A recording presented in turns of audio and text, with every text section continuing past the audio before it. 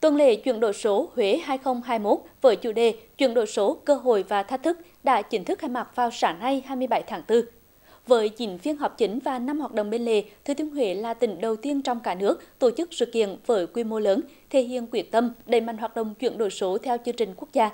Tham dự phiên khai mạc có ông lê trường lưu, ủy viên trung ương đảng, bí thư tỉnh ủy, chủ tịch hội đồng nhân dân tỉnh, ông nguyễn văn phương, phó chủ tịch ủy ban nhân dân tỉnh, ông nguyễn thanh bình, phó chủ tịch ủy ban nhân dân tỉnh về phía bộ thông tin và truyền thông, có thứ trưởng nguyễn huy dùng cùng bốn trăm đại biểu đến từ các địa phương, doanh nghiệp trong cả nước.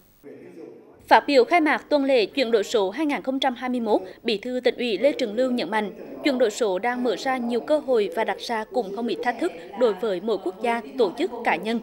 Chuyển đổi số tác động ngày càng mạnh mẽ, sâu sắc đến tất cả các lĩnh vực của đời sống tỉnh thừa thiên huế đã và đang đẩy mạnh chuyển đổi số, ứng dụng, phát triển khoa học công nghệ, đổi mới sáng tạo, bước đầu đạt nhiều kết quả tích cực.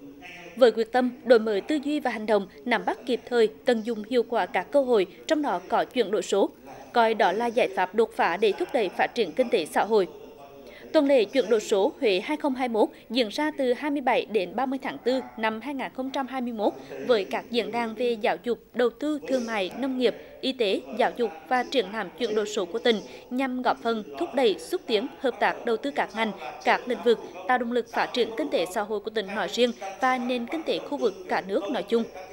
Sau phát biểu khai mạc của Bí thư tỉnh ủy Lê Trường Lưu và Thứ trưởng Bộ Thông tin và Truyền thông, các đại biểu đã nghe tham luận về chuyển đổi số, hiệu quả vai trò của các doanh nghiệp công nghệ số và các hiệp hội dưới góc nhìn Hội Tin học Thành phố Hồ Chí Minh, báo cáo kết quả xây dựng chính quyền điện tử và định hướng chuyển đổi số tỉnh Thừa Thiên Huế. Cũng tại phiên khai mạc, ban tổ chức công bố triển khai nền tảng Huế S với những ứng dụng mới. Kết thúc phiên khai mạc là phần tọa đàm với chủ đề chuyển đổi số hiệu quả thúc đẩy phát triển kinh tế vùng.